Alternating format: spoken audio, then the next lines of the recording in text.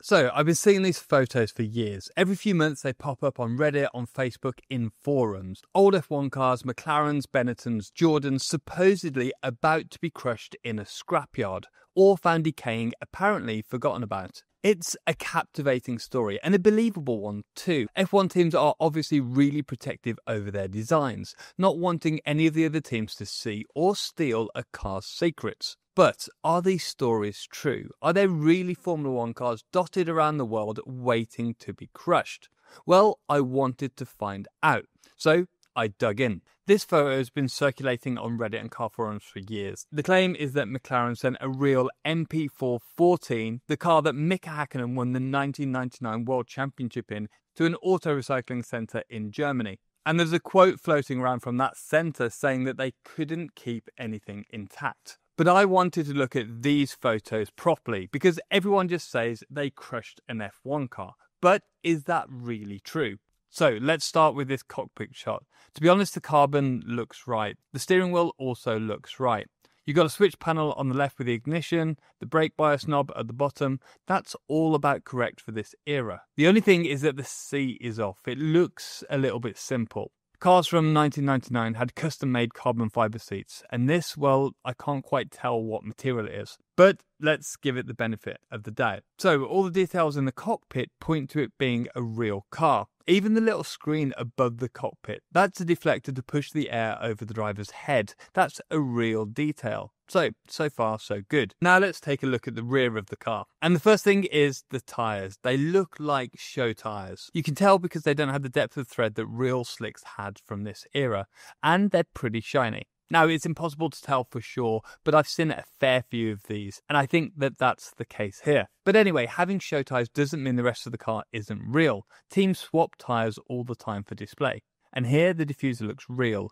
The rear wing also looks real. You can just about see the adjustment holes for changing the wing angle. And there's even heat shielding on the wishbones and diffuser. These silver patches here. To be honest, I doubt they'd bother heat shielding on a fake car. That's something you only need if hot exhaust gases are actually hitting the wishbones. So I'm thinking maybe it's legit. Then looking underneath the car, the floor looks real. You can see the plank, which you probably wouldn't put on if it was a show car.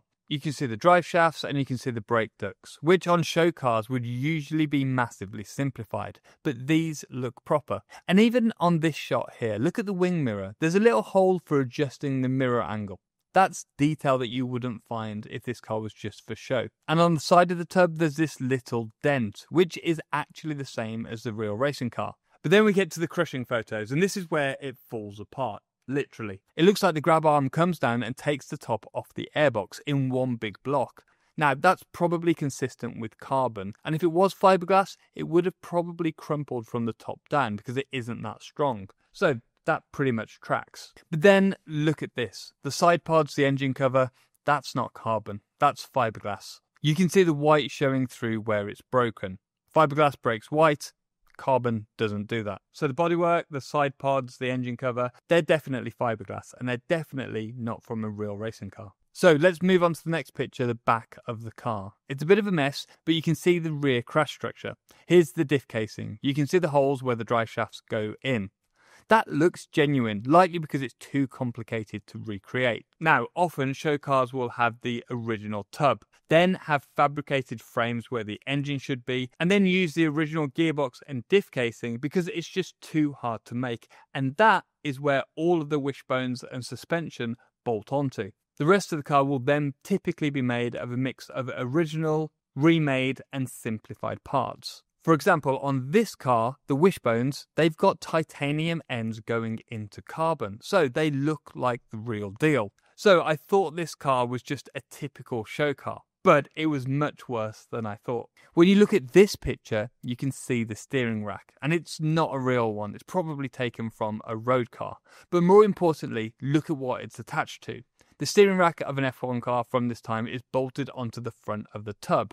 And in this picture, you can see the tub. You can see where the West sticker is on the front of it. But it's made from fiberglass. And I must have got caught out earlier because the inside does look like it's made from carbon. So, what they sent to the crusher was just a show car. A Frankenstein F1 car with a fake tub, fake bodywork and probably made up from random bits from the parts bin from the previous years. And the Reddit post said that the facility said that they weren't allowed to leave anything intact. But I think that's probably nonsense. So, if that McLaren wasn't a real racing car, what happens to real cars when they finally finish racing? Do they actually get crushed by the teams? Before we find out, I need to tell you about today's sponsor. Now, I do a fair bit of travelling with this channel, and I often work on public Wi Fi in hotels, airports, cafes, exactly where personal data is most vulnerable. And that's why I use Surfshark VPN. It encrypts everything I'm doing online emails, messages, logins. So even on unsecure networks, I know my data stays private. I don't have to worry about tracking or dodgy networks. For example, one time I was working on a video from a hotel abroad and couldn't access a bunch of sites I normally use. I switched on Surfshark, changed my location, and it all worked just like I was back at home. And the best bit is that you can use Surfshark on unlimited devices. Your phone, laptop, and tablet are all protected under one plan. They even offer Surfshark Alert, which monitors your account for data breaches and notifies you if the info's ever been compromised. Try it risk free at surfshark.com forward slash driver61 or use code drive61 and you'll get four months free and a 30 day money back guarantee. So, do these cars actually get crushed?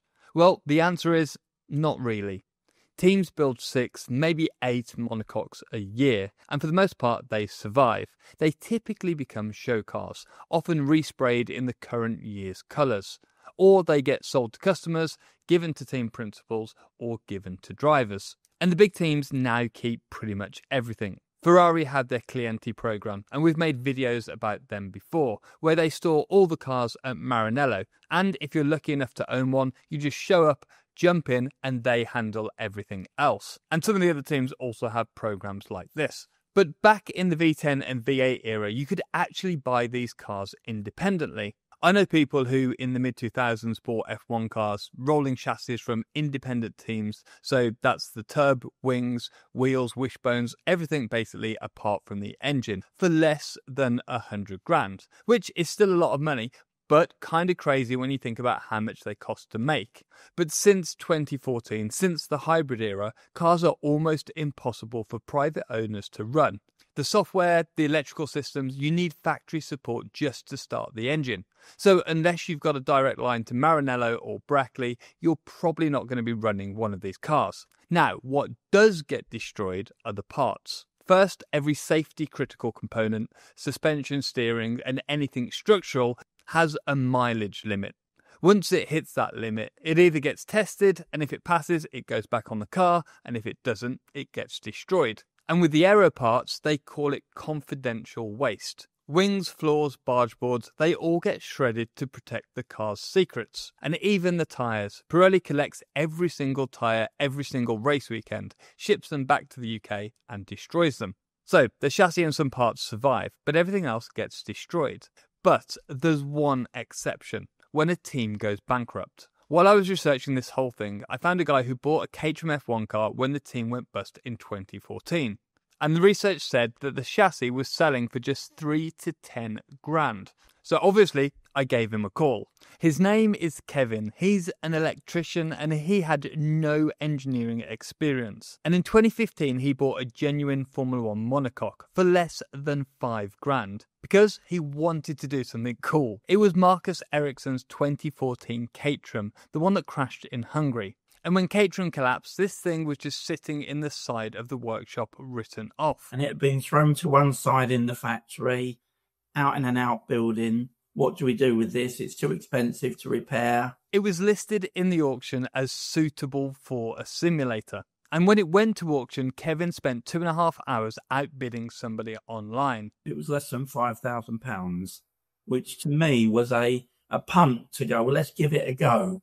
But here's the thing he didn't just get a tub and stick it in his garage. He wanted to make it run, but it didn't have an engine. So he went to Renault to try and get hold of an old power unit. They needed a 2 million euro deposit, and then I could rent it for three months. And then at that point, I'd have to pay them to rebuild it to put it back in their spares. I think they were trying to put me off, Scott, I'll be honest. And that's probably fair enough. These are hybrid era cars. You can't just bolt a new engine and go. Although, as Kevin has proved, you actually can. Kevin found a Formula Renault 2 litre engine that would fit under the engine cover. Because the engine is smaller than the original, he had to extend the gearbox by about 25 centimetres. And he also managed to buy about half the car's CAD files from the auction house, but a lot of them were also missing. And so he had to figure out the rest himself. It's all logical. You know, the car is not F1 standards. You know, Norris had lapped me 25 times by the time I got round once. But it's a logical approach of rebuilding a car. It's just harder. There are no parts. You know, if you want a part, you've got to work out how to make it.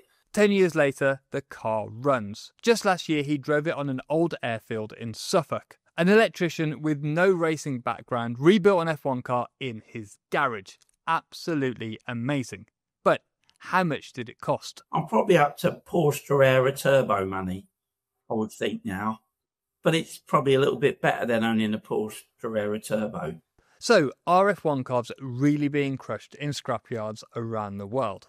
The honest answer is not really. Most of the real chassis survive and get used, but every now and then a team might collapse and things slip through the cracks.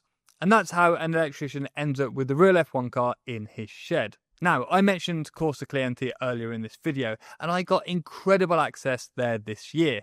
So, to see what they do with their retired cars, click here to watch that video. Thank you for watching, and I'll see you next time.